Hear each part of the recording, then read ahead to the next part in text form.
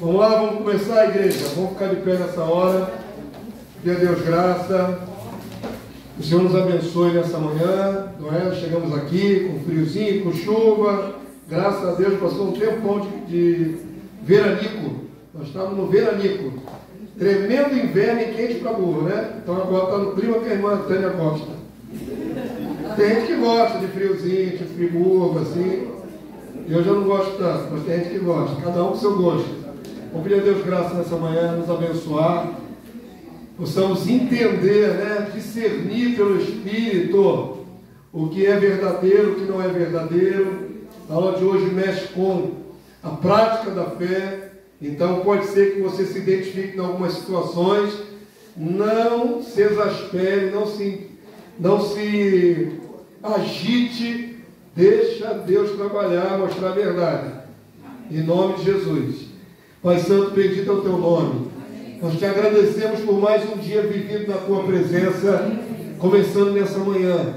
Que a tua graça seja sobre nós. Derrama mais, Senhor. Nos sustenta com o teu poder. Perdoa também os nossos pecados cometidos por ação e omissão. Sejamos aceitos diante do Senhor. Abençoa o nosso entendimento da tua palavra. Nós estamos aqui à busca do centro da tua verdade. Então não nos importa, Senhor, se alguma coisa a tua a nossa prática estiver te ofendendo, possamos nos consertar das práticas erradas. Senhor, não queremos é, zelar pela nossa religiosidade, mas zelar pela tua verdade. Esse é o nosso propósito nessa manhã. Nos guia, guia o teu servo que vai ministrar, guia o coração dos teus filhos que vão receber. Em nome do Senhor Jesus. Amém e amém. Amém? Poder sentar então, vamos lá. E tem que diminuir essa fileira de luzes aqui, irmão. Tem jeito, por enquanto.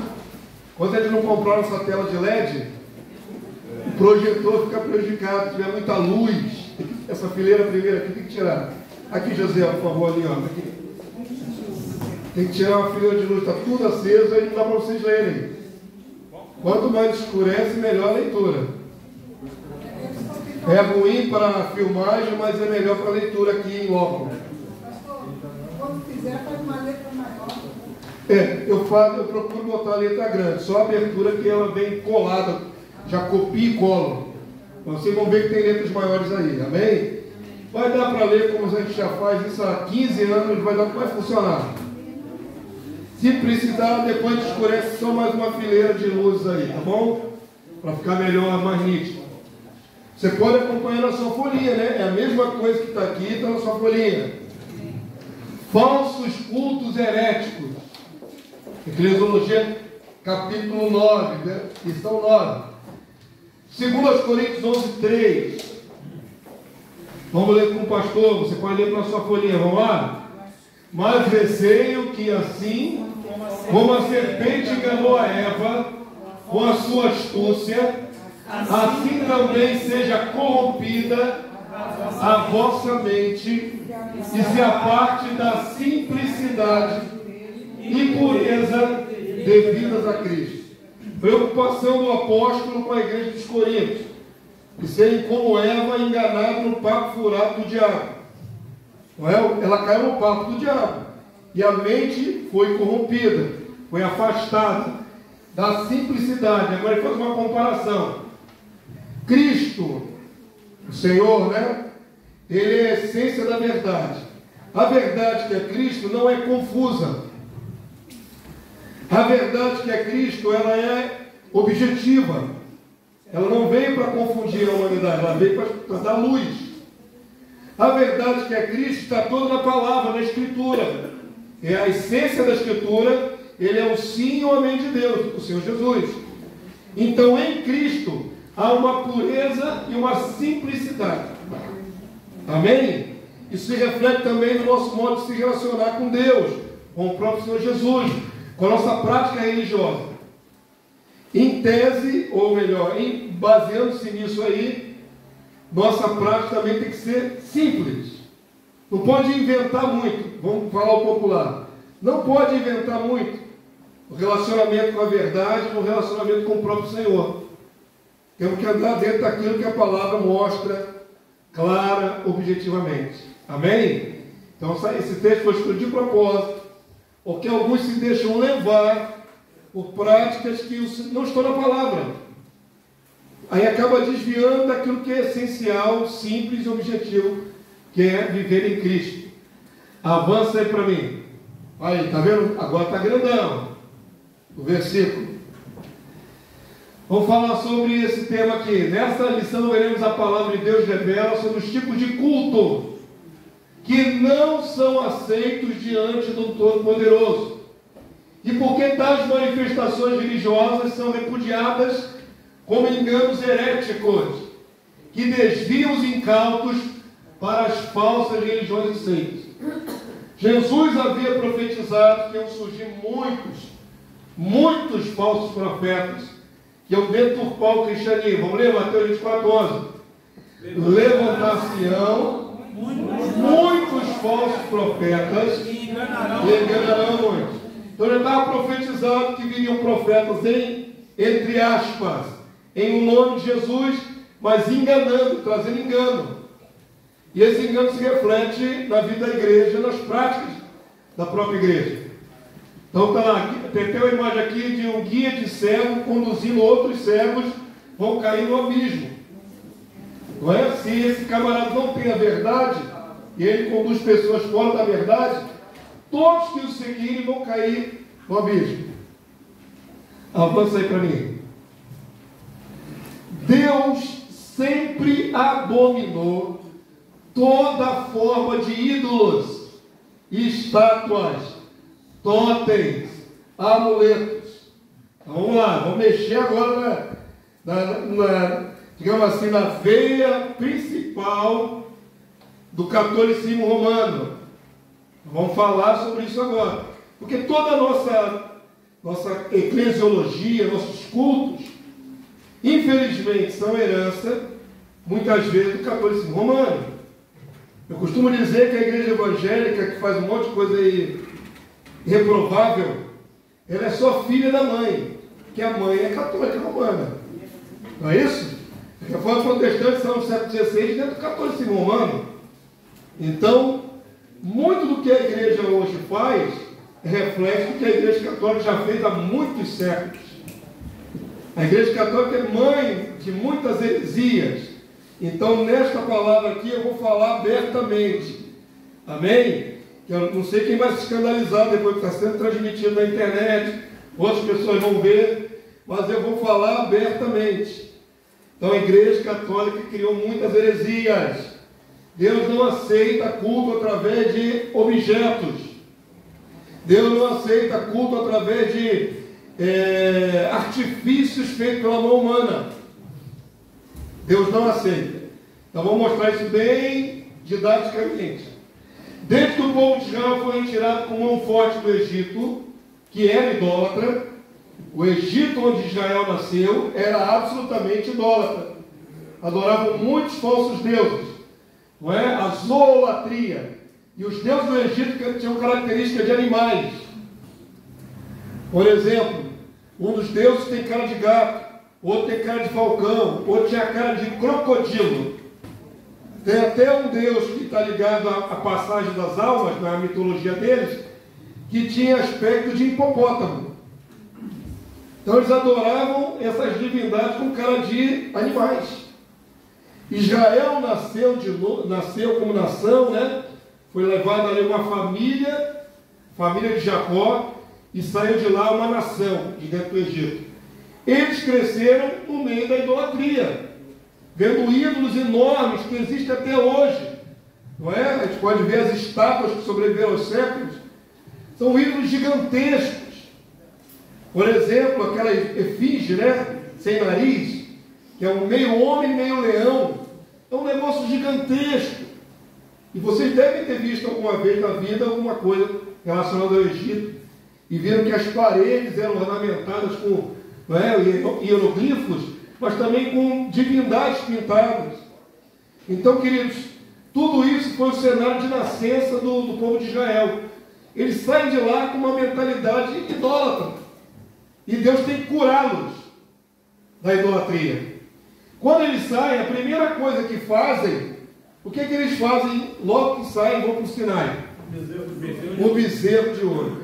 Porque que Israel imediatamente fez o bezerro de ouro? Porque estava acostumado com ídolos. Era comum para eles acessar as divindades através de algum objeto construído, uma estátua. E aquele bezerro de ouro apontava uma divindade no Egito chamada Apis. Na, na, na mitologia egípcia era um boi. Mas Israel fez uma coisa mais simplesinha, fez uma, um bezerro. De qualquer maneira, era o vício daquele, daquela contaminação do inconsciente coletivo de aceitar a idolatria. E Deus vai descer a lei nesse bezerro de ouro aí. Está lá em Êxodo 32, 1 a 14. Então Deus, desde o começo ali, tratando com o povo de Israel, repudiou a idolatria.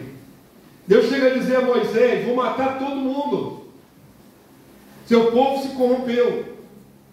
Então, olha como é que é grave para Deus né, o artifício de estátua. Vamos ler aqui o texto, Êxodo, capítulo 20, do verso 1 até o verso 6. Depois do episódio do bezerro de ouro, Deus estabelece os mandamentos, os dez mandamentos. E aqui dentro dos dez mandamentos, Deus vai explicar por que, que Israel não poderia fazer estátuas, imagens, pinturas, nem pinturas. Vamos ler aqui então, Êxodo 20, de 1 a 6. Aqui vocês podem ler com o pastor. Está dando para ler atrás aí, para, né? Está bem grandinho. Vamos lá? Então falou Deus todas essas palavras. Eu sou o Senhor teu Deus, que te tirei da terra do Egito, da casa da servidão. Não terás outros deuses diante de mim. Não farás para ti imagem de escultura, nem semelhança alguma do que há em cima nos céus, nem embaixo na terra, nem nas águas debaixo da terra. Então Deus foi muito categórico explicar ali: nada, não faz imagem de tipo nenhum, nem das coisas que estão no céu, nem das que estão sobre a terra, nem debaixo da terra, ou seja, no mar. Nenhuma área que seus olhos podem ver, nenhuma, nenhuma é, coisa criada serve para você reproduzir uma, uma escultura, um ídolo. Aí você pensou, por que debaixo do mar, né? Um dos deuses dos filisteus, aqueles que deram tanto problema com Davi, era o deus Dagon. Deus Dagon era uma espécie de tritão, ou sereia masculino. Ele tinha corpo de homem e metade era peixe. Então, um Deus peixe. Deus está falando categoricamente para Israel: não façam imagem de tipo nenhum, com referência nenhuma, nem das coisas celestiais, nem das coisas da terra, nem, de, nem da água, de lugar nenhum. Todo mundo entende isso aqui, isso é muito básico, não é? Está escrito. Verso 5, vamos lá? Não as adorarás, nem lhes darás culto que é o nosso foco dessa lição. A questão não é só a estátua em si, a questão é cultuar através dela. Ok? Não lhes dará culto. Não vai usar o, o, o veículo da obra criada pelas mãos para me dar culto, para dar culto a Deus, ou as divindades, as outras divindades rivais, né? Porque eu sou o Senhor teu Deus. Agora eu quero que você leia esse finalzinho aqui, que implica em maldição. Vamos lá? Deus zeloso ou ciumento. Zeloso aqui é ciumento. Que visita a iniquidade dos pais nos filhos até a terceira e quarta geração daqueles que me aborrecem. Presta atenção. Deus não falou assim, já estou amaldiçoando sua próxima geração. Eu vou visitar, eu vou ver se está fazendo a mesma coisa. Quantos entenderam? Maldição sem causa não se cumpre, está escrito. Para que haja causa para maldição, tem que ter base. E a base é: seus filhos farão a mesma coisa, seus netos farão a mesma, a mesma coisa, eu vou verificar. Se fizer, tem maldição. E a maldição aqui está relacionada à idolatria e culto aos falsos deuses. Mas também Deus faz misericórdia para quem obedece. Olha aqui, ó. E faço misericórdia até mil gerações daqueles que me amam e guardam os meus mandamentos. Amém, queridos? Então perceba que desde cedo Deus educou Israel a não fazer estátua, imagem de tipo nenhum, de divindade alguma, nem dele próprio. Deus nunca se deixou representar de maneira nenhuma para Israel. Não existe representação é, gráfica, né, ou visível de Deus. Nenhum tipo de representação. Amém? Avança aí para mim. Os utensílios sagrados da tenda da congregação. A Igreja Católica Romana vai afirmar que Deus permite sim fazer imagem de escultura. Porque Deus mandou fazer, por exemplo, os querubins em cima da tampa da arca. Vamos lá. Olha que negócio é sério, irmão. A sutileza do inimigo, como é que muda as coisas? Os utensílios da tenda da congregação, que Deus e Abel mandou construir, não tinham nenhuma representação de si mesmo. Não havia sobre os querubins mais um bonequinho representando Deus. Uma figura humana, uma figura, sei lá, de um sol, o que quer que fosse. Deus não se deixou representar a si mesmo. E não eram venerados, aquelas duas, aqueles dois anjos ali não eram reverenciados. Nem os querubins esculpidos sobre a tampa da arca. Amém, queridos? Então, ainda que Deus tenha permitido uma representação gráfica dos anjos, querubins, só ficava em cima daquela tampa. Isso aqui ficava no lugar mais santo dentro da tenda, o mais escondido. O sumo sacerdote entrava aqui uma vez por ano. Quando tinha que mover a tenda para outro lugar, porque era itinerante, se desmontava tudo. Primeiro se cobria a arca com pano, ninguém ficava olhando para os querubins. Entenderam? Tem todo um cuidado para que não se idolatre a matéria. Aí parece que a Igreja Católica, em cima disso, criou a ideia de que Deus deixa assim. E está lá proibido totalmente. Mas aí, baseado nisso, não, deixa assim. Até porque também tem um episódio das serpentes que mordiam o povo de Israel, e Deus mandou fazer uma serpente de bronze. Quem olhou para a serpente de bronze ficou curado. Aí a igreja está vendo? Tem os querubins e tem a serpente de bronze. Depois de serpente de bronze tem que ser destruída, porque o povo de Israel já estava adorando a serpente. Isso eles não falam. Isso eles não falam. Tem que ser destruída. Por quê? O homem tende a alcançar o sobrenatural através de objetos. É muito difícil concentrar num Deus que você não vê. Não é verdade? Talvez isso também seja a base da maior dificuldade nossa até hoje, de manter uma, um relacionamento de oração com Deus. Poucos conseguem se relacionar com Deus diariamente, diariamente em oração. Porque é estranho para o ser humano entrar ali, por exemplo, no secreto do seu quarto, onde você não está vendo Deus, não está vendo luz alguma, não é? Você não está vendo objeto nenhum, você, é como se falasse com as paredes, é como se falasse com o ar, é como se falasse com é, aquilo que você, seus olhos não enxergam. Então é complicado. É muito mais fácil para o ser humano canalizar sua fé através de algo que ele possa ver, tocar. Ali ele foca a mente dele, o olhar dele, para poder alcançar o sobrenatural. Por isso, tantos amuletos, inclusive no meio evangélico. Patuás gostam, vou falar mais adiante sobre isso. O povo precisa de alguma coisa para tocar. O povo precisa de alguma coisa para visualizar. Só a fé somente na mente não consegue. E a fé tem que ser a certeza das coisas que você não vê. Hebreus 11 define a fé como algo que você não vê, mas espera. É certeza, é 100%. Mas você não está vendo.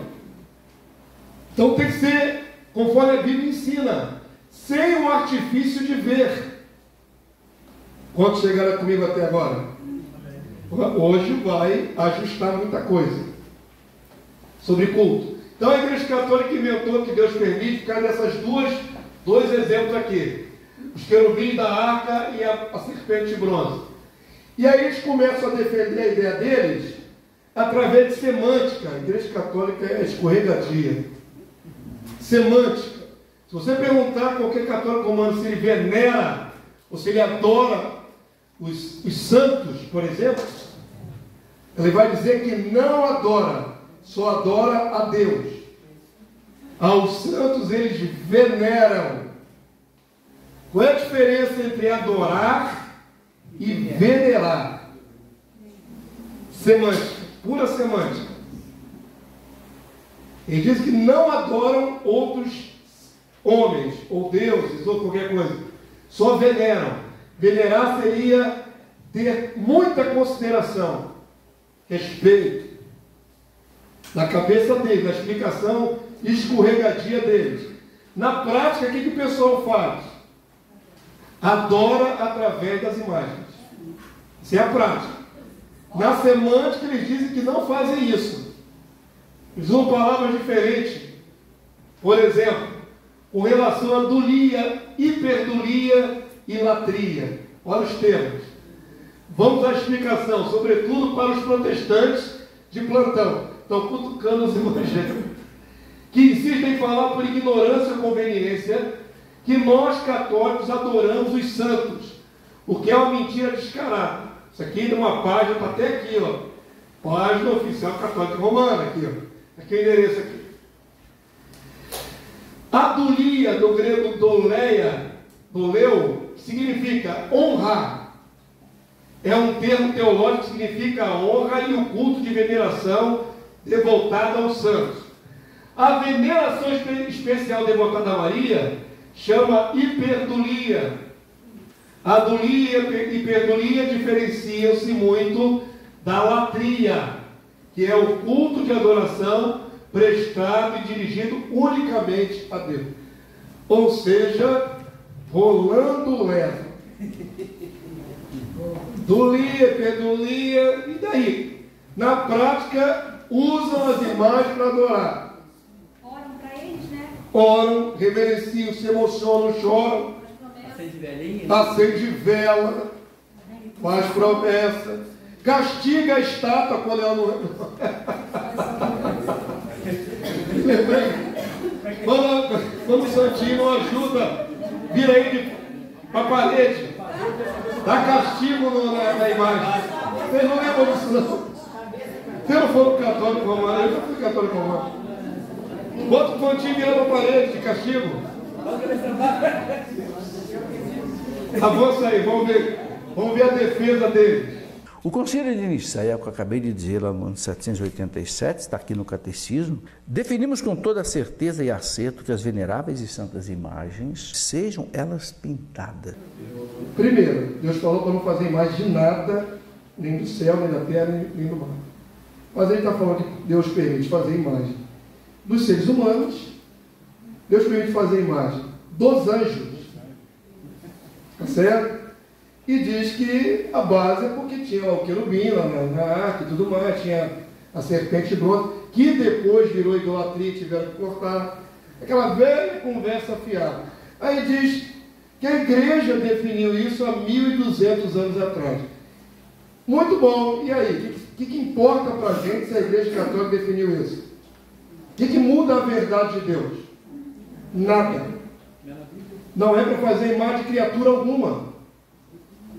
Queridos, eu sei que, olha só como é que o negócio é sutil. Você tem algum quadro na sua casa representativo de alguma imagem bíblica? É, é comum. Você bota lá a cara do leão, Jesus como leão, a crucificação, a arca de Noé. Então eles, eles foram por esse caminho. Você deve enfeitar a sua casa com passagens bíblicas. Até aí não, tem não teria problema nenhum. O problema é a malandragem. Não é só enfeitar a casa e você lembrar da passagem bíblica. É usar o artifício da pintura, da escultura, do modelo para acessar a Deus. Aí está o erro. Amém? Vou falar mais claramente. No reino milenar, quando o templo de Ezequiel foi erguido, tem ornamentação em todas as paredes. De querubins, de palmeiras. Não é que Deus não gosta de enfeite. O que está errado é usar aquilo para acessar a Deus. Quantos já foram católicos? E às vezes não tinha uma estátua para usar, o que, que você usava? Um santinho. Muita gente usa um santinho. Um, uma figurinha. Um, Santo Antônio, um Jesus, uma Maria, impressa num papelzinho mais ou menos nesse formato. E a pessoa, para acessar Deus, usava aquele papel, aquela figura. Então não é só veneração, respeito e honra aos santos que já morreram. Vocês podem perceber que ele falou também no meio da situação ali, que eles estão no céu intercedendo por nós. As coisas não são tão simples quanto parecem, queridos. Onipresença, né, pastor? Né? Criaram inter... centenas de intercessores no céu. A sutileza é, começa com uma coisa que parece aceitável, e eles descambam para uma heresia tão brutal, tão, tão odiosa, que ainda tem pena da igreja católica, porque você não conhece tudo que ela inventou. Estuda tudo que a igreja católica inventou, você não vai ter pena alguma da igreja católica. É a mãe de todas as heresias. Então, quando aí, esse último Papa, que é o Papa mais liberal que eu já vi na história, não é? Não só adora a imagem de escultura, como ele recebeu o Evo Morales, comunista, uma, um crucifixo onde está Jesus preso, um crucifixo na foice e no martelo. Símbolo comunista.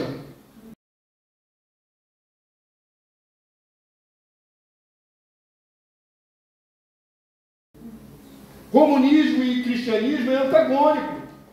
Comunismo é ateu. E o Papa está recebendo aqui, ó, a foice e o martelo, Jesus cravado na foice. Isso aqui é uma blasfêmia sem tamanho. Só o fato de fazer o crucifixo é uma blasfêmia. No comunismo, esse Papa está irritando até os católicos romanos. Isso aqui é a Pachamama. Ele levou lá no Vaticano um monte de Índia e aqui está cultuando aqui uma representação da mulher grávida aqui. Ele é idólatra de todos os níveis. A mãe natureza, né? A mãe natureza. Ele mandou fazer altares de terra lá no Vaticano para. Coisas que vocês nem imaginam. E aqui do lado mais uma representação da, da Aparecida aqui, né? Muita idolatria. Avança aí para mim. Mas tem idolatria gospel também, evangélica. A Pachamama é uma idolatria à terra da formiga. A formiga? É Deus terra. É, é a divindade da natureza, né? Deus terra. E o Papa recebeu lá uma comitiva desse povo lá e reverenciou. Idolatria indígena. Idolatria indígena, exatamente. Se você quiser pesquisar, vocês vão ver muitas outras bizarrices dessa do Papa. Ele, faz, ele, ele abraça tudo. Tudo e tudo. Mas o meio evangélico também faz suas esculturas de imagem. Para queimar o filme. Está lá, adorando a arca ali.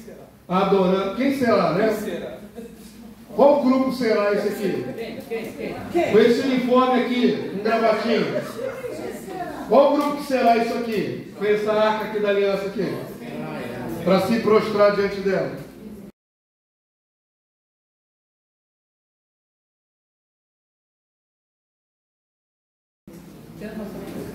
Tem mais, irmão, tem muito mais. Avança aí para mim. Vamos quebrar com a palavra. Deuteronômio 16, 21. Vamos lá?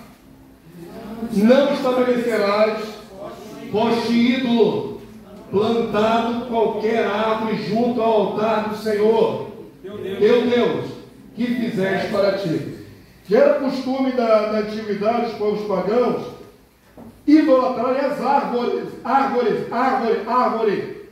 Era também idolatrado, como sendo representação divina. Aí, queridos, isso aqui vai gerar a famosa árvore de Natal, que vem da, da cultura pagã europeia. E aí a igreja evangélica hoje bota dentro dos seus santuários uma representação de um pinheiro, que não tem nada a ver com Jesus, com Cristo, com a verdade de Deus. Tem nada a ver com nada do cristianismo. Armar uma árvore de Natal. Mas, por tradição religiosa, tem crente que tem até comichão na alma se não, se não armar árvore de Natal na época. Mas eu preciso armar, dar um comichão. Dá vontade de bater em todo mundo. Fala. Os fariseus saduceus, né? Eh, as tradições deles estavam à frente do, das prioridades de Deus. Da palavra de Deus. Jesus disse que eu sou um bando de hipócritas. Porque segue mais a tradição dos homens. Somos um caiados vivos, né? Herança de Roma também, né? Herança de Roma. Sincretismo todo é herança de Roma. Saturnalia e tudo mais virou Natal. Então o que acontece, queridos? Infelizmente, o povo não vai para as escrituras. Está lá escrito claramente, não bota nenhum tipo de representação de árvore junto ao altar do Senhor. Pronto. Deuteronômio 7, 25, vamos lá? As imagens esculturas de seus deuses queimarás. A prata e o ouro que estão sobre elas não cobiçarás, nem o tomarás para ti, para que te não enlaces neles, pois são abominação ao Senhor teu Deus. Qual é a malandragem do teólogo católico? Diz que Deus proibiu os ídolos, que estão falando ídolos, os outros deuses. Mas fazer revelação idólatra dos, dos santos católicos romanos pode. Deus proibiu qualquer tipo de imagem. Isaías 42, 8, vamos lá? Eu sou o Senhor, este é o meu nome a minha glória, pois não a darei a outrem, nem a minha honra às imagens de escultura. Jeremias, todo homem se tornou estúpido. Está destacado estúpido. E não tem saber. Todo ourives é envergonhado pela imagem que ele mesmo esculpiu pois as suas imagens são mentira e nelas não há folha. Poderia colocar nessa lição dezenas e dezenas de passagens, talvez uma centena, proibindo a idolatria do Antigo ao Novo Testamento. Mas a lição é mais ampla do que isso. Primeiro tipo de culto que não aceita de jeito nenhum, através de ídolos, imagens, totens, árvores, qualquer que seja a representação física das coisas sobrenaturais. Amém? Todo mundo entendeu? O povo de Israel, com seus reis, inúmeras vezes levaram Deus a ciúmes, idolatrando Baal e outras divindades, às vezes cultuando mutuamente os falsos deuses e o Senhor no templo. No templo de Salomão colocaram estátuas de outros deuses. Ezequiel 8, 3 a 5. São inúmeras as passagens que proíbem os ídolos. E o apóstolo Paulo, no Novo Testamento, reendossa a advertência. 1 Coríntios 10, 14, 2 Coríntios 6, 16. Vamos lá? Portanto, meus amados, fugir da idolatria. Que ligação há entre o santuário de Deus e os ídolos? Deixando bem claro que não é uma questão só do Antigo Testamento. Em toda a Escritura. Idolatria é rejeitada como uma coisa abominável diante de Deus. Avança aí para mim. Culto com adoração de anjos. Viram que eles também falaram que podia fazer representação de imagem dos anjos. Inclusive, inclusive, antes de mostrar o vídeo aqui, Dia 29 foi ontem, né? Se eu não me engano, foi ontem. Foi ontem, dia 29? Foi. Foi dia de veneração de culto ao arcanjo Miguel, na Igreja Católica. Vocês sabiam que tem o dia do anjo ser venerado? Eles têm o calendário de todos os santos. O dia de ontem é do arcanjo Miguel. É. Se não foi ontem, foi o dia anterior. 28 ou 29? Ontem foi dia do Pedro, então foi dia 28. Dia do arcanjo Miguel ser adorado pela cultura da Igreja Católica. Alguns, atraídos pela exuberância e mistério dos seres angelicais, criaram formas de culto, onde evocam os anjos dando-lhe nomes e tentam comandá-los, o que só Deus pode fazer. Ninguém dá ordem a anjos senão Deus. Tem um monte de pastor maluco aí, esquizofrênico, que está comandando os anjos. Você não vai ver isso nas escrituras. Miguel, vai lá agora naquele lugar.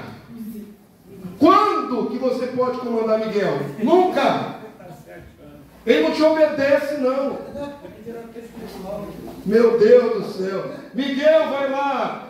Gabriel, vai lá. Quem está dando ordem a anjo? É Deus que dá ordem a anjo, a nosso respeito. Eles nos ajudam, nos ajudam, nos guardam, nos protegem, vão fazer tudo que Deus mandar. Mas homem não dá ordem a anjo. Nenhum de nós dá ordem a anjo.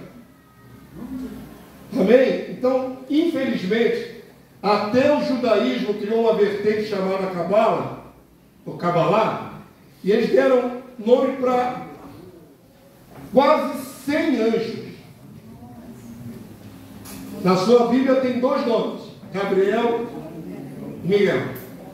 Na cultura judaica desviada tem dezenas de nomes: Ariel, Azazel e por aí vai.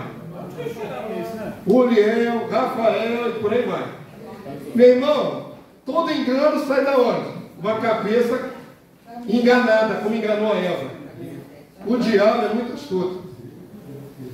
É tanto nome, Ariel, tem anjo Ariel, Uriel e por aí vai. Vai, não é? Eu tinha que fazer gracinha. Colossenses aqui, vamos ler. Vamos ler, vamos ler. Eu não tenho tempo para isso hoje, a hora é extensa. Vamos lá.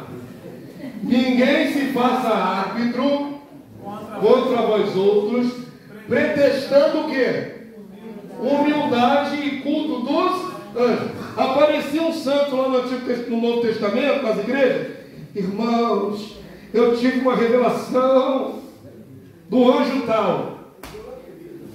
Paulo vai cortar a onda desse sem vergonha. Por mais que ele se apresente como uma pessoa santa, consagrada, está cultuando o anjo, está errado. Ninguém, ó, pretexto de humildade, culto de anjo. Olha de onde ele tirou isso, José, vamos lá. Baseando-se em visões, enfatuado sem motivo algum na sua mente carnal. É a mente do homem criando ficções. E não retendo a cabeça, que é Jesus, o qual todo o corpo, suprido e bem vinculado, por suas juntas de ligamentos, cresce o crescimento que procede de Deus. Uma coisa é que está na igreja em Cristo, outra coisa é um homem carnal inventando culto de anjo. Todos conhecem esse cidadão aqui, Rodrigo Silva, grande arqueólogo, mas como teólogo, ele é muito fraco. Como ele é muito popular, tudo que ele fala o povo absorve. Vamos ver o que ele falou aqui nesse videozinho aqui. Vamos lá. Jesus apareceu várias vezes no Antigo Testamento já como um anjo. Mesmo no céu, ele era Miguel. Jesus não é da mesma categoria que anjo, até porque, como Logos, ele criou também os anjos, está lá em Filipenses. Antes de tudo, ele criou até os anjos. Como é que ele é anjo? Aí é o famoso Rodrigo Silva solta essa batatada no ar. Que o Jesus é o anjo Miguel, arcanjo Miguel. Avança aí para mim. Anjo não recebe adoração. Anjo, anjo, anjo de Deus, não, é, não de Satanás. De Satanás quer receber adoração. Satanás é seus demônios. Mas os anjos fiéis a Deus não recebem adoração. Jamais. Todos os anjos são comandados pelo próprio Deus, por Jesus. Ele mesmo não aceita a adoração. Tem várias referências ali, eu destaquei Apocalipse 19, 10. Quando João está recebendo as revelações no Apocalipse, diante dele está um anjo. Mas tem hora que confunde com a imagem do próprio Senhor Jesus. E nessa aparição de Jesus, através do anjo, João se prostra, se coloca no chão. O anjo manda ele não fazer isso. Apocalipse 19, 10. Vamos ler, igreja. Vamos quebrar essa mentira. Vamos lá? Prostrei-me ante os seus pés para adorá-lo. Ele, porém, me disse: Vê, faças isso. Sou conservo teu e dos teus irmãos que mantém testemunho de Jesus. Adora a Deus, pois o testemunho de Jesus é o espírito da profecia. Ou seja, em Jesus não há engano nem mentira. Então, nem um anjo vai perverter um ser humano a andar numa mentira, porque seria fora de Cristo, a verdade.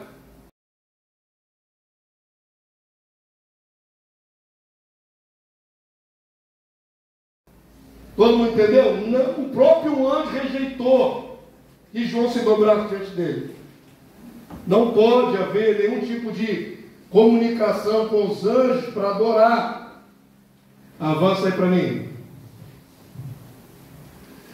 Culto de mediação com santos mortos. Também é prática da Igreja Católica. 14 Romano, baseado no livro apócrifo de 2 Macabeu, vocês conhecem os apócrifos da Bíblia Católica?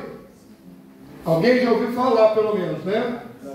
Primeiro Macabeu, segundo Macabeu, Tobias, Judite, o Eclesiástico, Sabedoria de Salomão, uns enxertos em Daniel, em alguns enxertos, terceiro, décimo terceiro capítulo, e eu não me lembro mais quanto está faltando mais um, que eu não estou lembrando aqui agora. Baruch. Baruch. Esses são os apócrifos. Até a reforma protestante, a Igreja Católica considerava esse livro pseudo-canônico, ou de segunda canonicidade. Ou seja, não autênticos. Quando houve a reforma protestante, para diferenciar a Bíblia protestante da católica, eles admitiram esses acréscimos, esses livros, como sendo agora parte da Bíblia. Tem um concílio que foi feito em Tentro, onde eles admitiram isso. Eles incorporaram aqueles livros e tornaram esses livros também aceitáveis, canônicos. Foi uma, re, foi uma reação à reforma. Até então, nem a Igreja Católica tinha esses livros como sendo autênticos, como sendo é, inspirados. Mas por uma questão política, admitiram esse livro. E é num desses livros, por, por que, que não constava do cano? Porque tem coisa errada nesses livros. Os judeus, por exemplo, também não aceitam esses livros. O judaísmo, onde esses livros foram escritos, na época do judaísmo, também rejeitaram esses livros. Tem macumba, tem macumba no livro, no livro de Tobias. Tem uma verificação das entranhas do peixe, uma feitiçariazinha ali básica, para adivinhar. Tem coisas absurdas, que não coadunam com o restante da Bíblia. Então, estou explicando. Esse livro aqui é segundo Macabeus. Primeiro livro de Macabeus só serve para ser lido de maneira histórica. Você quer entender que Antíoco Epifânio sacrificou uma porca lá, né? No, no, no templo lá, alguns anos antes de Cristo, você quer entender a história? Está lá no primeiro livro de Macabeus.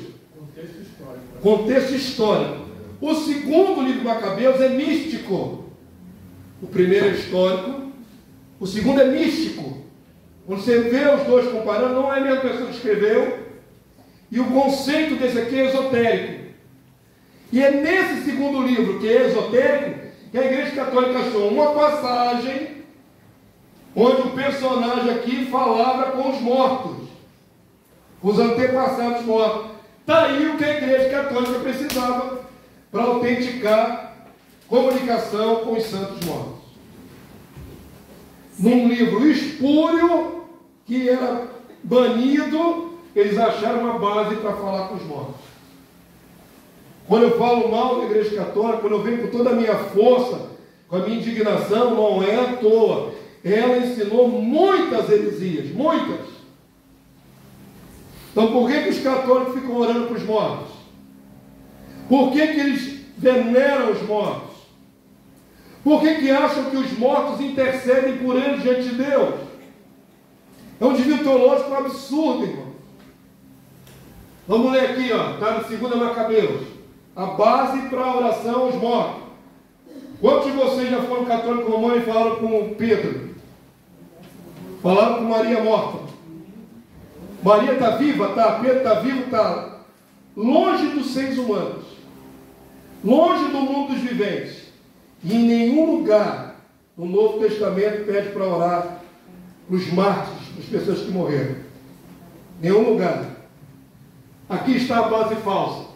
Judas Macabeu, tendo feito uma coleta, mandou duas mil dracmas de prata a Jerusalém para se oferecer um sacrifício pelo pecado. Obra bela e santa, inspirada pela crença na ressurreição. Porque se ele não esperasse que os mortos haviam de ressuscitar, seria coisa supérflua e vã orar pelos defuntos. Ele considerava que os aos falecidos, na piedade, está reservada uma grandíssima, grandíssima recompensa. Santo e salutar esse pensamento de orar pelos mortos. Está em caixa grande que você vê aonde está a heresia. Para que sejam livres dos seus pecados. Tem uma via de mão dupla aí com mundo dos mortos. Os católicos oram pelos falecidos mortos, para que eles possam ascender para o céu. Por isso, por exemplo, se faz a missa de sétimo dia. Está ali invocando né, que Deus permita que o, que o morto suba para o céu. Então é o vivo intercedendo pelos mortos.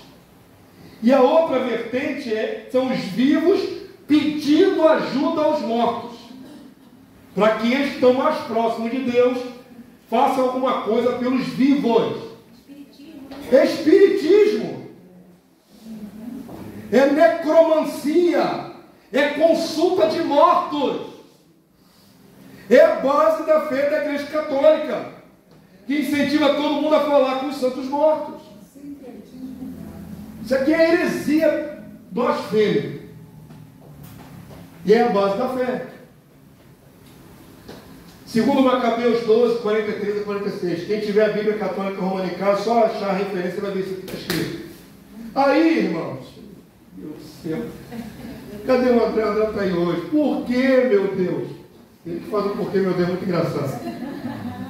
Santo Agostinho, aquele, aquele mesmo, que desviou a igreja, tirando a ideia do milênio literal, que desviou a igreja, criando os princípios e a defesa da trindade, esse mesmo, também mexeu nesse assunto. Teólogo católico do século V, endossou o costume de orar aos mortos. E aí, a partir de Agostinho, todo mundo acha que está embasado, acabou virou tradição. A autoridade da Igreja Universal, que se reflete nesse costume, não é pequena. E mais, não há dúvida de que eles, os mortos, são beneficiados pelas devoções que os fiéis manifestam. Santo Agostinho. Escrevendo ironicamente o livro dele contra as heresias. Ele estava escrevendo contra as heresias e pronuncia isso.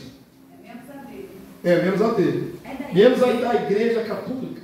Aí que surge, pastor, essa ideia de que hoje a gente morre e sobe é antes direto. de vai para o céu, vai para o céu, mas não sobe direto. Já que você tocou no assunto, eu vou ter que falar esse adendo aqui rapidinho. Cadê que surge então, né? A igreja católica criou um sistema de gradação para ir para o céu. Nenhum pecador vai para o céu direto no sistema católico romano.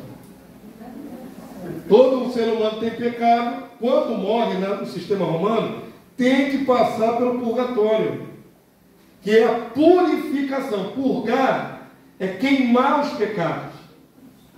Então a alma sai do corpo do católico romano, passaria por esse acrisolamento de fogo para queimar os pecados.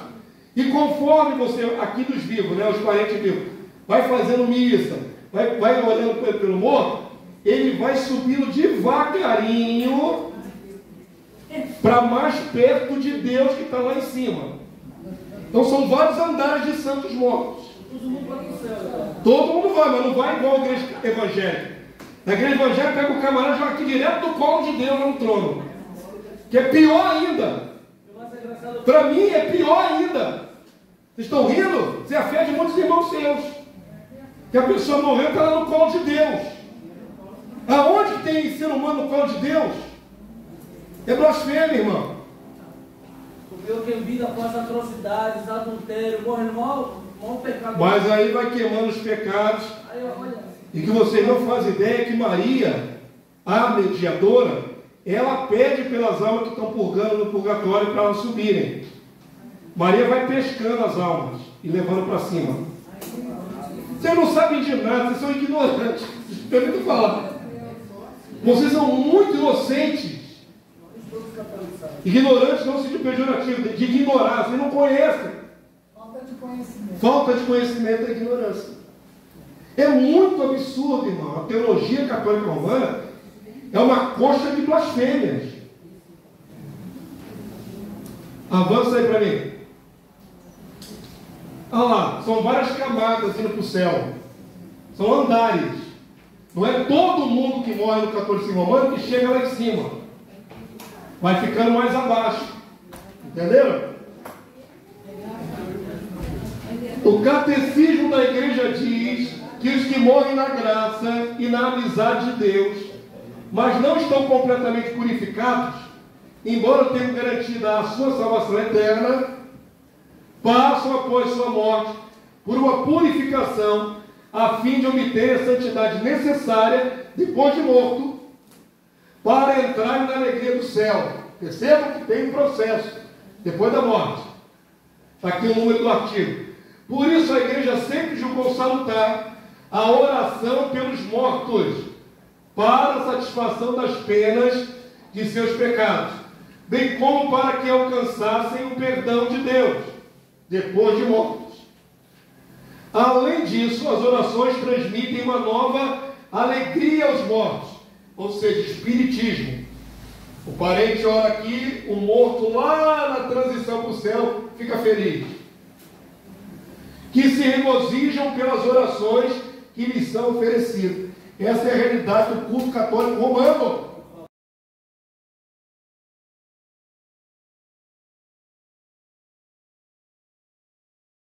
Primeiro Timóteo 2,5, portanto, há um só Deus e um só mediador entre Deus e os homens, Cristo Jesus, homem. Quantos mediadores há entre nós e o Senhor? Um. Quantos a igreja católica criou? Centenas e centenas de mediadores. Entre elas Maria, Pedro, todos os apóstolos, todos os papas que eles quiserem nomear como mediadores, assim vai. O Espírito Santo também, como outro. O Espírito Santo, os anjos, tudo. Bota tudo no pacote, todos eles ajudam a gente lá no céu. Pastor, então, segundo o pensamento deles, todos os ele seja o pedófilo, vai passar por esse processo e não vai. Não, só os piedosos. Eles jogam gente no, no no inferno. O purgatório não é o inferno, é um outro lugar. O purgatório é para as almas mais ou menos boas, os menos piores, que ainda podem ser purificados. Por isso, Maria que vai interceder para tirar essas almas do purgatório. Vocês não têm noção, né? E pior que eu já ensinei isso aqui tudo aqui nessa igreja já. Em escola dominical, lição por lição. Tem lição sobre purgatório. Avança para mim. Vamos para as heresias evangélicas. Saindo da, heresia católica, que é a mãe, vamos para as heresias evangélicas. Moveres estranhos do pentecostalismo. a renovação do movimento pentecostal moderno no início do século XX, com a ênfase nos dons espirituais, profetismo, curas e o falar em línguas estranhas, trouxe avivamento que se reflete nas grandes igrejas pentecostais atuais. Então, deixa eu começar aqui falando uma coisa positiva. O movimento pentecostal moderno é autêntico. Os dons espirituais restaurados do século XX para cá são autênticos. Eu nunca vou dizer que não é autêntico. Ok? Creio em todos os dons. O que há de errado no meio disso tudo? É que junto com o avivamento que trouxe né, essas, essas evidências dos dons espirituais, se introduziram também alguns costumes, algumas práticas que você não verifica na Bíblia. O problema não está nos dons espirituais. O problema está em como as pessoas pensam que tem que manifestar o dom espiritual. Esse é o problema. Vou botar aqui o vídeo para vocês verem. Cultos, cultos evangélicos pentecostais. Como as pessoas pensam que devem se relacionar. Eu calcei sapato de fogo, não posso me controlar. É que o varão do movimento. A música ali, o forró, gospel, diz que calçou sapato de fogo não pode se controlar. Quer dizer que quando a pessoa está no poder, ela não se controla. Então tudo isso aqui é possível. Avança aí para mim, mano. É assim que Deus. Você imagina a igreja primitiva fazendo isso? Vocês acham que o apóstolo Pedro fazia isso? Paulo, todos os outros.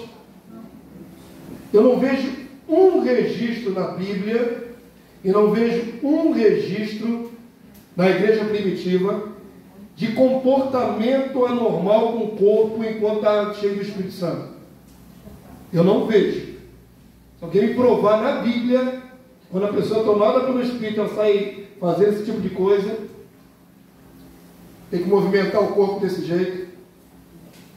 Não vejo. Acabei de afirmar que os dons espirituais são autênticos. Mas o povo envereda por esse tipo de comportamento. A palavra de Deus diz que você não pode se controlar, cheio do Espírito.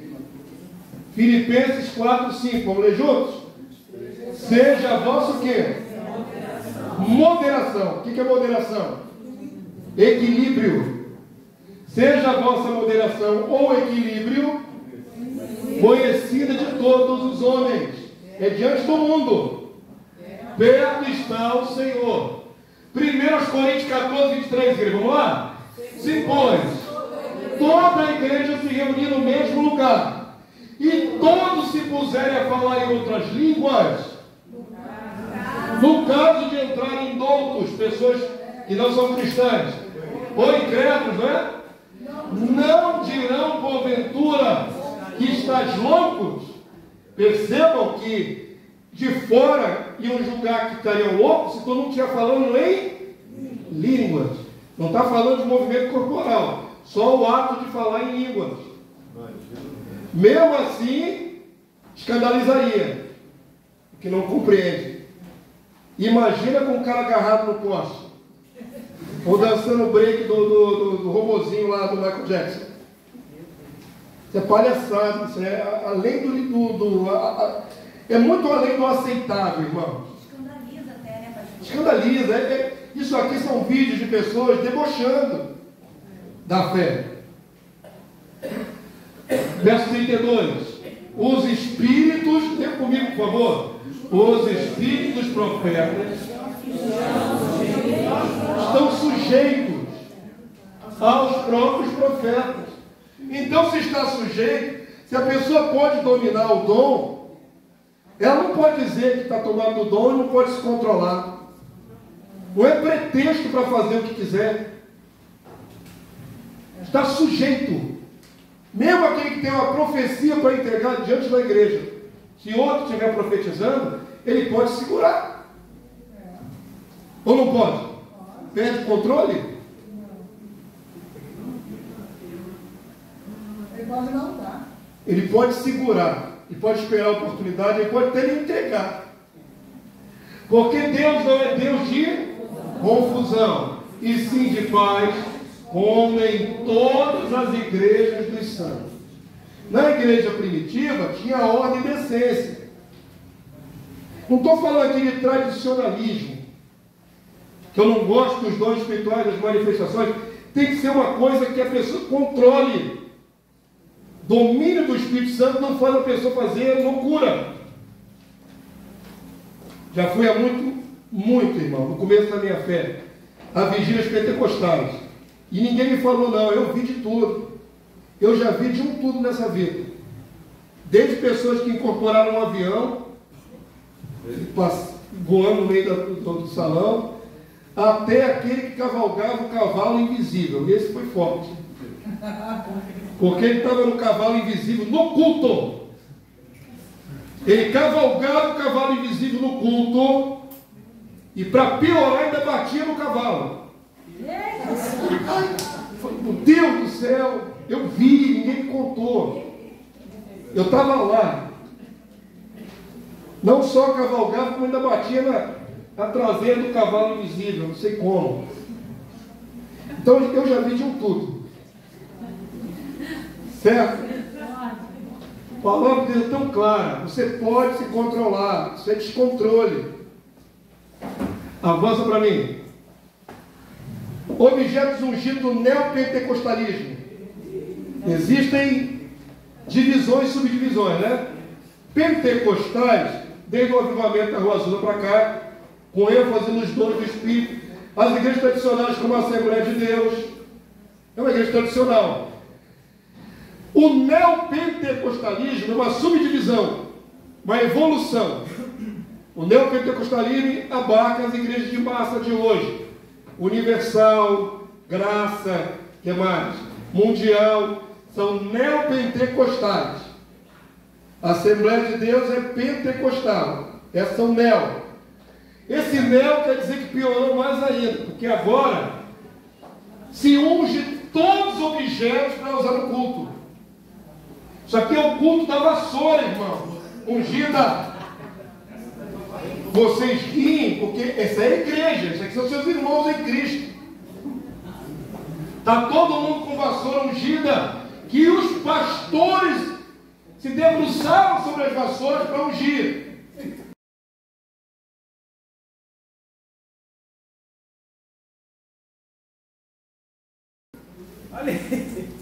Triste. Isso aqui é do Valdomiro. Isso aqui é colher de construtor para você ganhar a sua bênção. 153 reais essa colher. O que vocês não percebem é que isso aqui é comércio.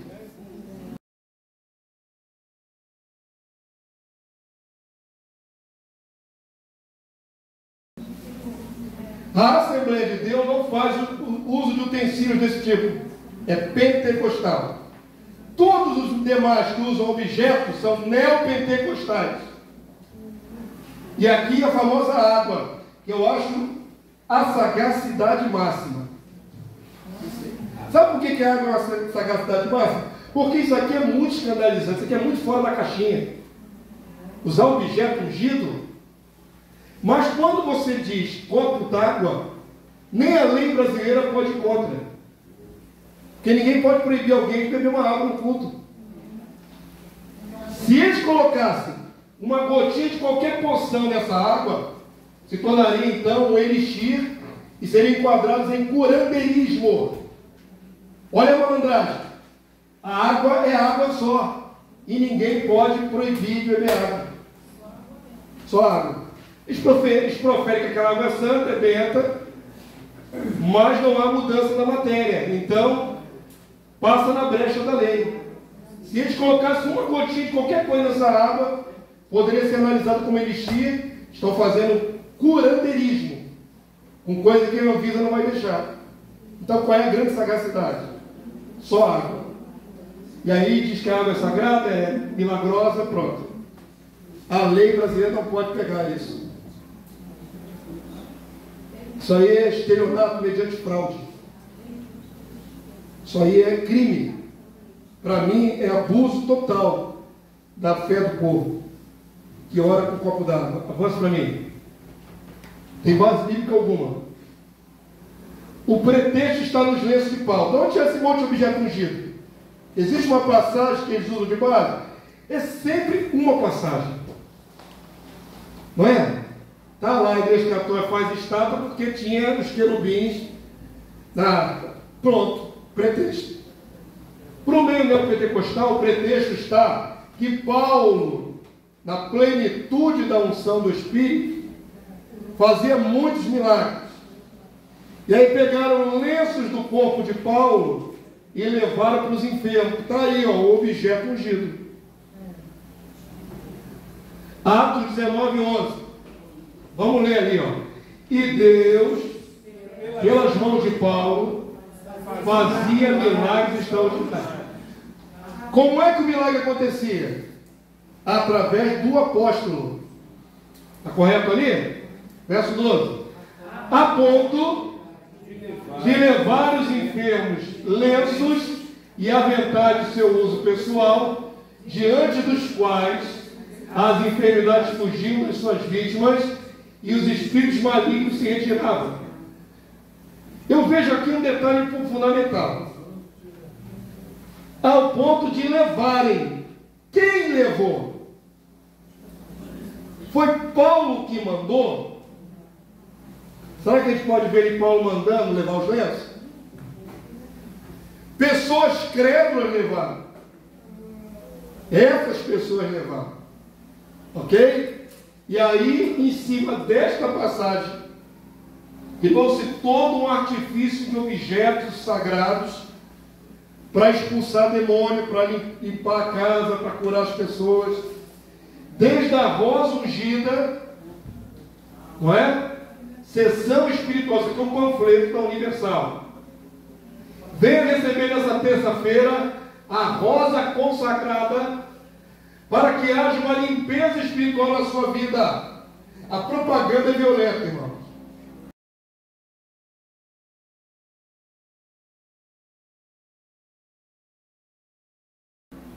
É através da rosa. E quando a rosa murcha, faz o quê?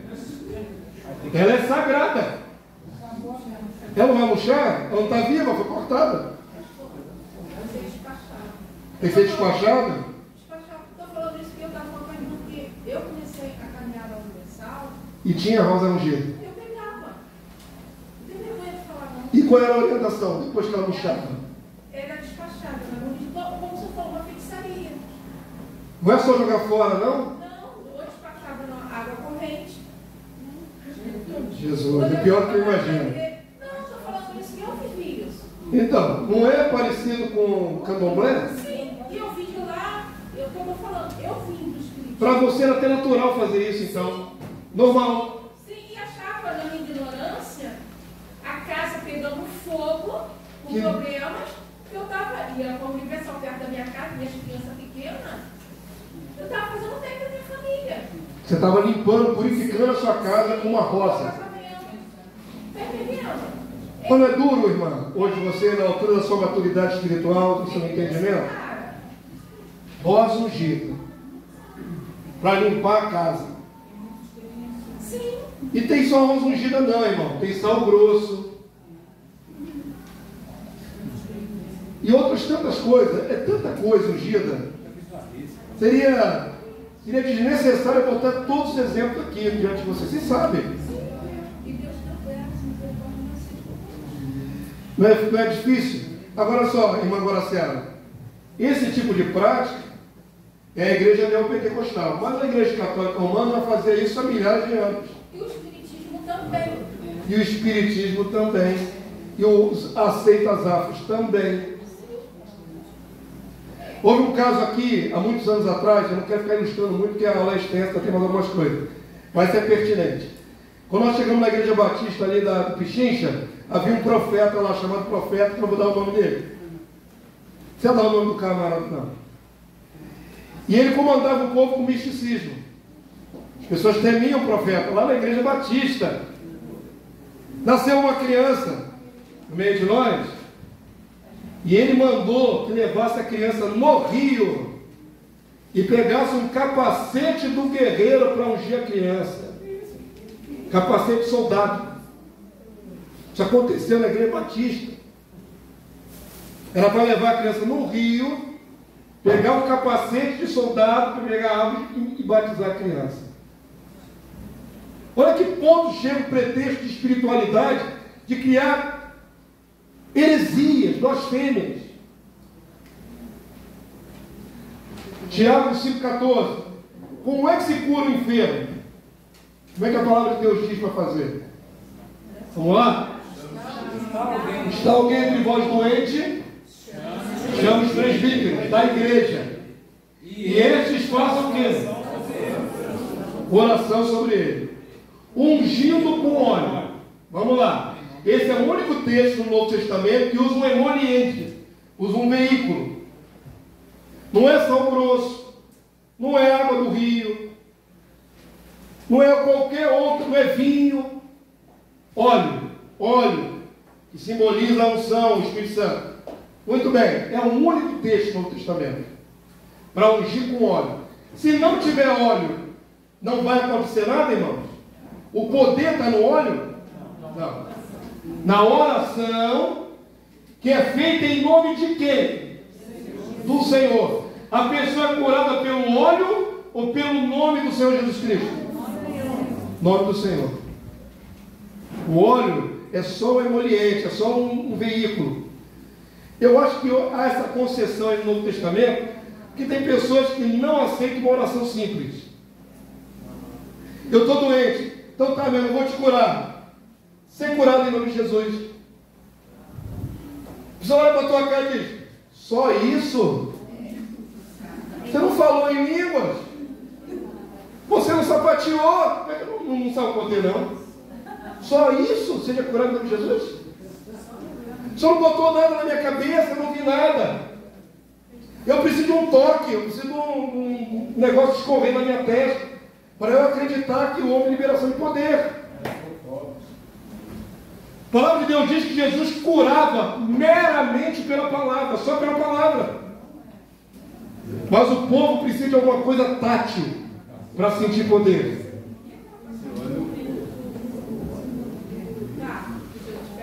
Jesus pega o barro, ali é, ali é uma simbologia, né? O homem é formado do barro. O homem está com uma parte do seu corpo incompleta. Jesus é como se Jesus estivesse moldando o órgão de novo. Ali é uma simbologia. Mas não se usa nem barro nem cuspe, cuspe ungido, viu irmão?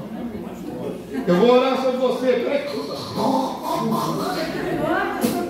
Aí corta a testa. Não tem cuspe ungido. Pastor, é que as pessoas caem nisso, né? Jesus Cristo amado, tem que fazer gatice. Avança aí para mim. O Criador do ser humano podia cuspir no chão e fazer lodo. Ele não cuspiu sobre as pessoas, ele, fez barro, o homem é feito de barro, a ideia de reconstrução do corpo. Tem nada a ver com cuspe ungido. Pastor, o óleo é um veículo? O óleo é só um veículo. E é o único veículo, não tem isso, no Novo Testamento, o único veículo que está na palavra é o óleo. Se for ungir com água, ungir com vinho, com sal grosso, sei lá, sei lá, com danone, o que, o que quer que você invente é invenção. Quem ia pedir a palavra? Você? Não. É, tem um que gosta na boca. Chega! Está acontecendo meio neopentecostais de pessoal, para livrar do fumo, do vício, leva lá no altar, o, o, o, o varão dá uma florada no, no- na droga e, e sopra sobre a pessoa. Esse tipo de absurdo.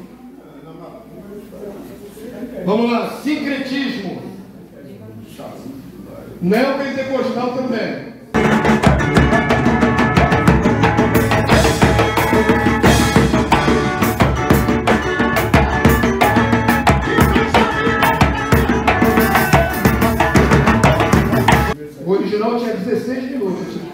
Editar. Volta lá, mano, volta lá. Isso aí. Sincretismo.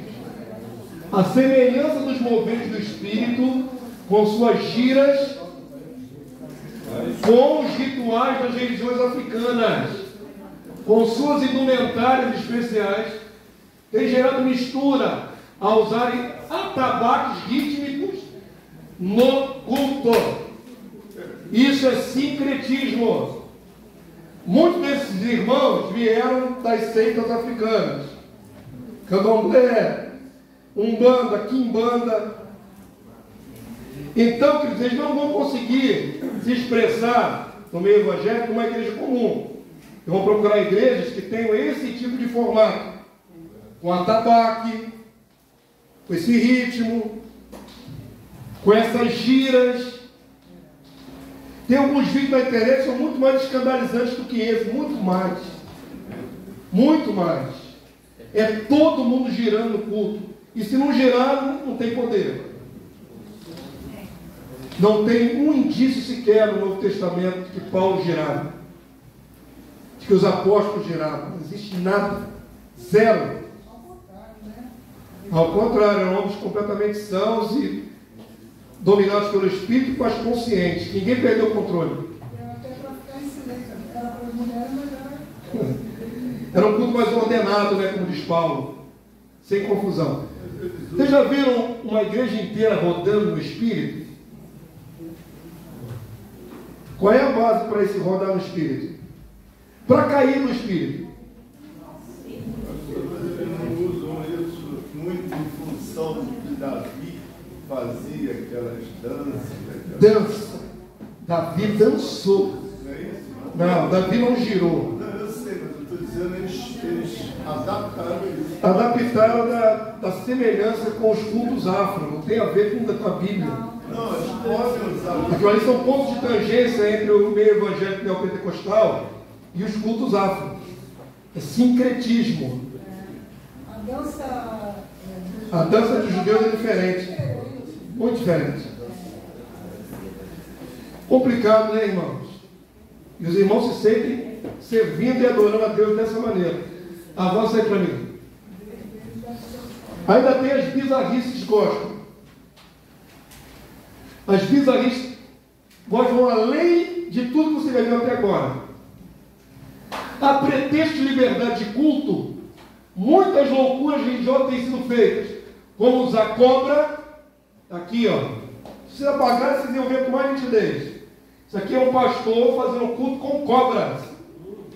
Inclusive, ele foi picado ao vivo no culto e morreu poucos minutos depois. Cobra venenosa. Cascavel. Estados Unidos. Tem um vídeo horroroso, horripilante dele morrendo. A cobra vem, agarrou na boca dele aqui, e ele começa a passar mal, morre. Culto com cobra. Você quer culto para Deus aonde, irmão? Esse aqui é o Genoduque, esse aqui é o concurso no meio neopentecostal. É o Fred Flintstone. Ele se veste de uma roupa grosseira de, de, de couro. Capaz, ele é grandão, né? Gordo. Agora, o mais impressionante é essa senhorinha está com ele nas costas. Aqui é uma senhorinha do coque. Do qual ele montou nas costas dela e ela começou a rodar com ele nas costas. Como ela aguentou esses 150 quilos dele, não sei. Vou curar dela. Não, ela era, a mulher do poder era ela. A mulher do poder era ela. Ele está sobre ela. Isto num culto, num culto com milhares de pessoas presentes. Aqui o pastor prendeu o demônio na garrafa PET.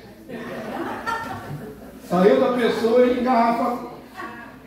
Ai meu Deus.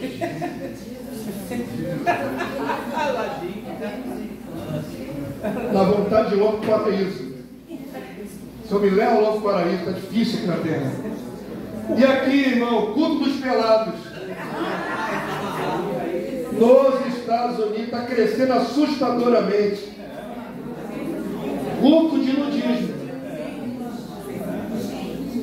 É sério. Porque o pastor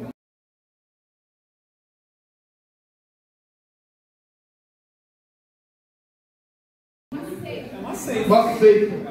E qual dessas que não é? Qual dessas que não é seita? Saiu da palavra, é seita. Culto condutismo. Pastor, tem coisas com muito mais sutilezas que, que até corre o risco de pessoas evangélicas simplesmente mudar de igreja e aceitarem. Quase que. Tem outras coisas, né? Tem outros desvios teológicos, vários. Essa igrejas aí que está na terceira, quem sabe se lá o que está Por exemplo, o Rodrigo Silva é adventista. Você senta lá, uma igreja normal, tradicional, bonita, com muita gente bonita, um culto tranquilo, mas e as heresias que vão junto na pregação? Exatamente. Exatamente. Quando é sutil assim, é até Quando é bizarro, eu acho o contrário. Quando é bizarro assim, tu ainda consegue discernir que não é de Deus. Exatamente. Não tem menos perigoso do que o. Mas aquelas cujas doutrinas são todas erradas e manipulam milhares e milhões de pessoas. Aquela geleia barata. Aqui já é a, bala, a, a geleia já foi batida no liquidificador com a barata junto. Avança, não é para você parar mais. Vamos lá, as bizarrices gospel. Ultimate Fight, luta de MMA na igreja, para atrair os jovens. O pretexto é para tirar os jovens do inferno, dando a eles um espetáculo de violência dentro do santuário. Seria engraçado se não fosse trágico, irmãos. Igreja Renascer em Cristo, Esteve Hernandes. Foi feita uma reportagem que vocês vão ver, aquele símbolozinho do National Geographic. O cara veio dos Estados Unidos, do National Geographic, para ver essa modalidade nova de abordagem de evangelho. Evangelho Ultimate Fight. Vamos ouvir. Pague as luzes para vocês verem melhor. Paga as luzes aí laterais aí. Vamos ouvir o que, que ele falou na reportagem para os Estados Unidos. Vamos lá. Solta aí, filho. E no Brasil, a, a luta tem crescido muito. Muito, assim. As lutas e a igreja não são incompatíveis.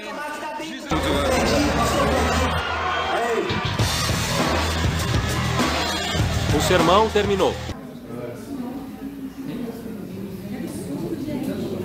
Qual foi o pretexto que ele falou? Nós começamos com rock, para eu jogo. Depois as danças, depois o teatro. Mas agora está crescendo muitas lutas. Então vamos botar luta para trazer o jogo. Atrair com o pecado, gente. Que negócio é esse? Mas Né? tu viu o que o repórter falou? Mas que, quando Jesus fala que a gente tem que dar É, o repórter não parece ser cristão, mas sabe mais da Bíblia do que os teganenses. Justamente. Qual é o pretexto? Não interessa. Contanto que bote o jovem dentro da igreja, está tudo certo. Não precisa de nada. Isso é nada. Só entretenimento. Ele profetizou o crescimento da igreja. É, crescimento dessa igreja. Se alguém está na igreja por causa de entretenimento, qualquer que seja, está pelo motivo errado. Na hora que vem a pressão, a luta espiritual, a batalha, a tentação, vai aguentar? Não vai aguentar. Não tem relacionamento direto com o Senhor. Só vai para a igreja por causa do entretenimento. Uma noite de, de- de- né, de sábado, como é- começou a reportagem, vamos para a igreja, lá tem luta, lá tem um monte de coisa gostosa. Tem de tudo, meu irmão. Você não faz ideia. Já passaram do limite. Sabe quando já perderam a noção do que era certo e errado? Há muito tempo. Já perderam há muito tempo. A notícia nos Estados Unidos, por exemplo, de igrejas, para os jovens não se prostituírem nos motéis de fora, eles criaram um motel dentro da igreja. Que aí os jovens já ficam ali mesmo. Cassino, cassino. Para jogar dentro da igreja. Vocês não fazem ideia. Eu olho para vocês, bando de inocentes. Vocês não sabem de nada. Como é possível? Se eu estou sempre mostrando a vocês, cada bizarrice dessa eu trago vídeo aqui no meio. No culto de quarta-feira eu mostro a vocês essas coisas. Só que vocês apagam da memória, né? Isso aí é a igreja. É a igreja do Senhor Jesus Cristo. Doente, desviada, fora da verdade, que já saiu, como diz o primeiro texto, foi seduzido como Eva. E saiu da simplicidade devido a Cristo. Já saiu há muito tempo. Pastor, você é muito radical com esse negócio de luta. Imagina o seguinte: Nós temos que imitar Jesus. Jesus estaria aqui aprovando isso? Jesus aceitaria a luta de Ultimate Fight? Então pronto.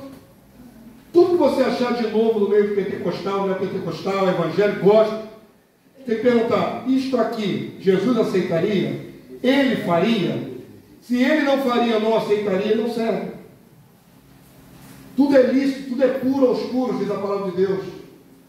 Paulo chega a dizer que nada no mundo é verdadeiramente mal, contaminante. Mas eu não vou me deixar levar por tudo isso. Não posso me deixar levar. Tem que discernir o santo do profano, irmão. Avança comigo. Qualquer outra coisa desvia. 1 Pedro 2,16, para a gente terminar, vamos lá? Como livres que sois, somos livres, irmãos. Do pecado. Fomos libertos do pecado, das práticas que antes, diz a palavra de Deus, nos envergonhávamos delas. Como livres que sois, lê comigo voz alta, finalizando. Não usando, todavia, a liberdade por pretexto da malícia, mas vivendo como servos de Deus. Vou dar só mais um enxerto porque isso aqui me lembra, nesse carnaval, sabe a igreja Bola de Neve, que está agora afundando porque tem pecado pra caramba, a partir do líder que batia na própria esposa? A igreja Bola de Neve é uma das que praticam um evangelho moderno, livre, cuja o púlpito é feito uma prancha de surf. Essa mesma igreja, no carnaval de 2024, bateu o recorde mundial, entrou no Guinness. Como a igreja que botou mais instrumentos de percussão rítmico no carnaval. A igreja Baldiné bateu recorde. Mais de mil membros da igreja tinham um instrumento tocando no carnaval no bloco deles.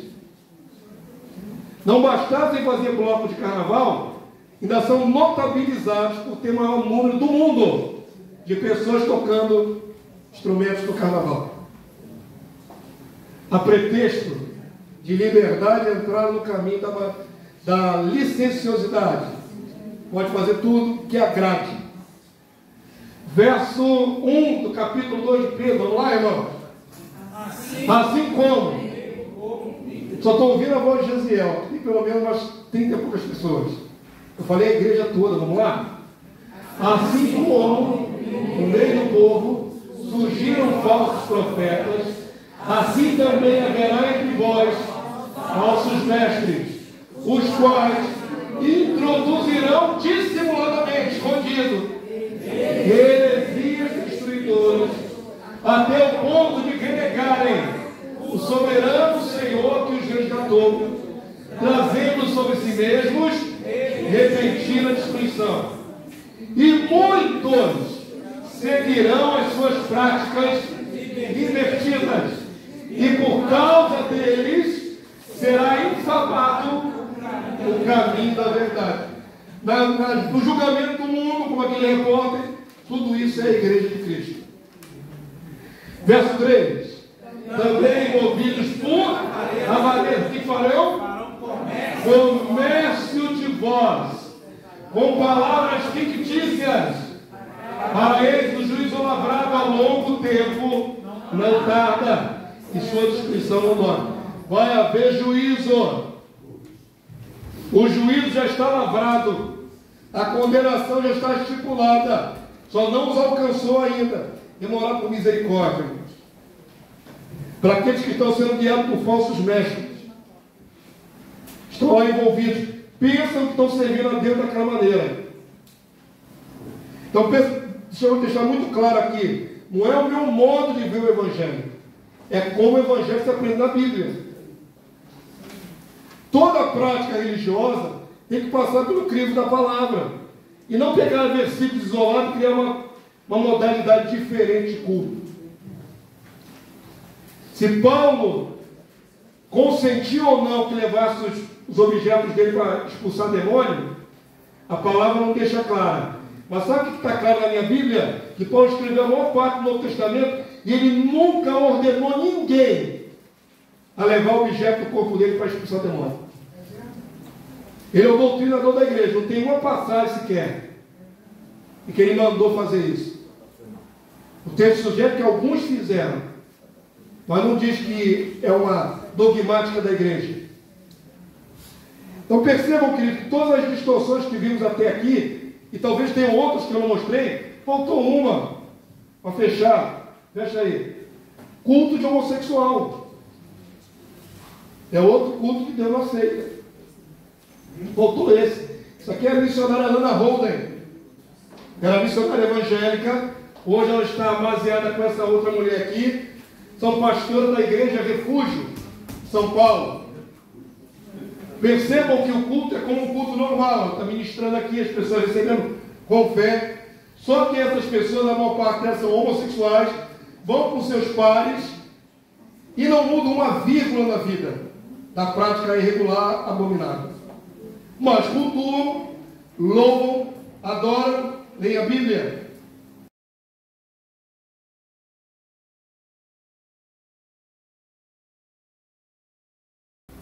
Isaías 1,13. Vamos ver se Deus aceita de qualquer maneira culto. Vamos ler? Não continueis a trazer ofertas vãs.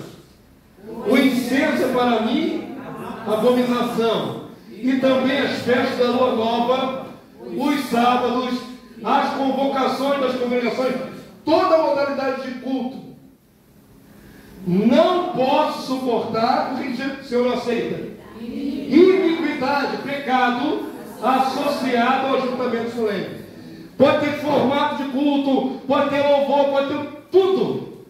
Mas Deus não aceita ajuntamento de pessoas em pecado dizendo que está prestando culto. Romanos 1, 25. Pois eles mudaram a verdade de Deus em mentira, adorando e servindo a criatura em lugar do Criador, o qual é bendito eternamente. Amém. Vamos dar uma adorada aqui a Deus.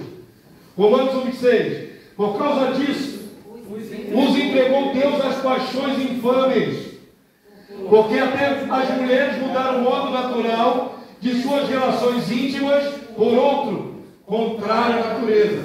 E o texto vai dizer que os varões também fizeram o mesmo. Por quê? Mudaram a verdade de Deus em mentira. Amém? Todas essas práticas abomináveis, distorcidas, bizarras, é quando as pessoas vão além do que está escrito na palavra, ou traduzem aquele conceito de maneira errônea, mudam a verdade em mentira. E aí fica cultos abomináveis. Vamos ficar de pé terminando a aula de hoje. Quero ver se vocês têm coragem de compartilhar esse vídeo nas suas redes sociais. Quero ver se vocês têm coragem. Já está online lá no, no canal Visão do Reino. Já está online. Eu vou editar para tirar os vídeos, não, não posso colocar oficialmente com esses vídeos, vou tirar os vídeos. Vou editar e amanhã já deve estar online a versão sem os vídeos. Ok? Só por questão de direitos autorais. Talvez eu deixe o que eu posso de cada vídeo deixar no, no, nessa edição é 9 segundos. Se passar de 9 segundos, vem cobrança autoral. De repente eu vou tirar, deixar os 9 segundinhos só de exemplo e amanhã estará online. Por favor, irmãos. Eu vacilo a minha igreja com a verdade. Quero que vocês criem anticorpos. Mas é justo que só vocês sejam vacinados? Não é importante que vocês passem isso para muitos parentes seus que estão na prática? Muitos de nós já passamos por isso, irmãos. No começo da igreja, no avivamento da igreja lá, Batista ali do Pichincha, tinha caído no poder, nós caímos no poder, irmãos. E a gente via claramente quando a pessoa não estava fingindo. Tinha gente que caía durinha no poder, assim, pum, batia no chão. Tinha uns que iam devagarinho, câmera lenta, segurando assim, ó, para não se machucar. E assim, caindo no poder assim, se escorando. Cair no poder o quê, irmãos? Infelizmente, na busca do sobrenatural, a gente acaba enveredando por práticas apelativas. Pastor, permita-me falar. Tem que ser breve, já estamos estourando mais de 20 minutos. Isso aí, infelizmente, está nessa direção porque muitos são líderes. E esses líderes permitem a. São os culpados. E são os culpados. Fala isso que eu quero falar. Começa pelo capítulo, vocês viram Esteve Hernandes. É para atrair. Deixa eu liberar vocês lá sem mais delongas, meio-dia e 15. Pai Santo, bendito seja o teu nome. Senhor, tu sabes o nosso coração. Não temos intenção alguma de julgar e ofender os nossos irmãos. Não temos intenção alguma no coração de querer ser mais santos ou mais perfeitos. Senhor, mas nós vemos a tua escritura, a tua palavra, estudamos ela com muito afinco há mais de 15 anos, todos os domingos. E pelo que o Senhor já nos revelou na tua palavra, pelo que o Senhor já nos revelou até na igreja primitiva, cremos que temos alguma coisa para balizar nossa fé. E nós entendemos, Senhor, que muitos irmãos nossos usam práticas que não estão calcadas na Escritura. Vão além, traspassam a verdade. E tua paciência é imensa, porque são nossos irmãos. Nós não os condenamos à perdição, Senhor. Nós queremos clamar em nome de Jesus. Que pela leitura da tua palavra eles cheguem ao entendimento, Senhor.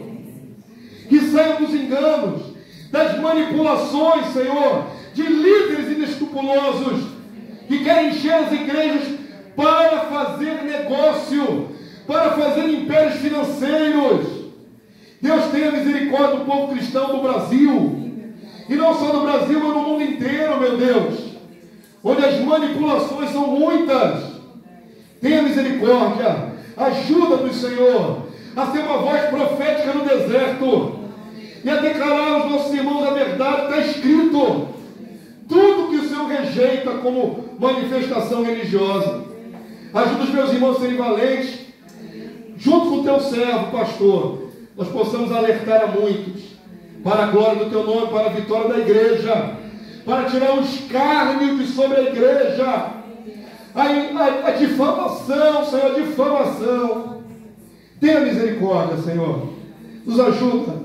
Leva-nos em paz, guardado pelo teu poder. Possamos chegar bem nos nossos lares, meditar sobre tudo aquilo que vimos nessa manhã. E logo mais à noite voltar com o coração jubiloso para adorar o Deus vivo, para adorar o Rei Jesus, com tudo que temos, com tudo que somos, em toda a verdade.